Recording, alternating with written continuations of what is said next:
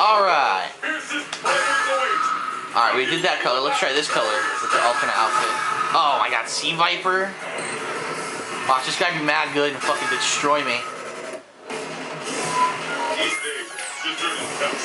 I can't believe they improved his Dragon Punch so much. It actually fucking works like a Dragon Punch now.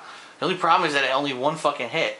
But it beat Ryu's Dragon Punch when they were going against each other. That was hilarious. Oh, boobies. Booby booby. This looks like a Ninja Turtle too.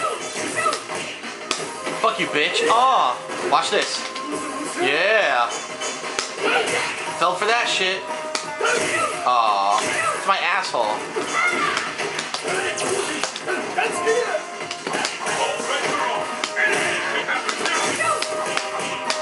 Slam that bitch, yeah. Oh, oh, oh! You lose.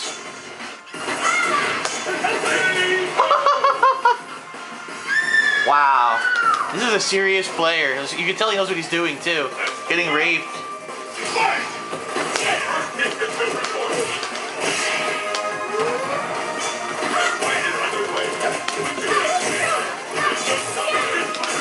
Fuck you.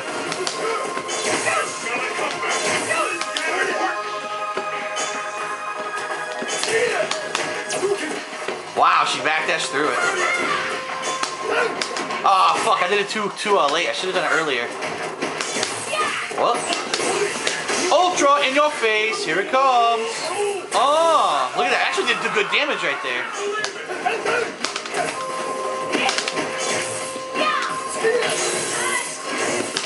What? Oh my god. Didn't know what that was. I thought it was a new Ultra or something. It was just her super. Oh my god. I landed just short, so she got a free throw. If I was a little bit further, it would have hit, put her in block stuff, which is what I wanted. My move's not coming out. My move's still not coming out. Oh my god. Now it came out mad fucking late, yes. Nothing I can do. Fuck you, no perfect. Fuck you, slut. All that because she got one fucking random hit that I couldn't do anything about. That's so stupid. Certain characters are based off that, like they get that one hit and then they can get a string of attacks going. But if you're online and you can't fucking react to that one hit, what are you supposed to do? Like that's it, the whole round was blown because of one move. Well, that's my fault? Like what the fuck, man? Why did I lose all my life because of one fucking move? It's horrible.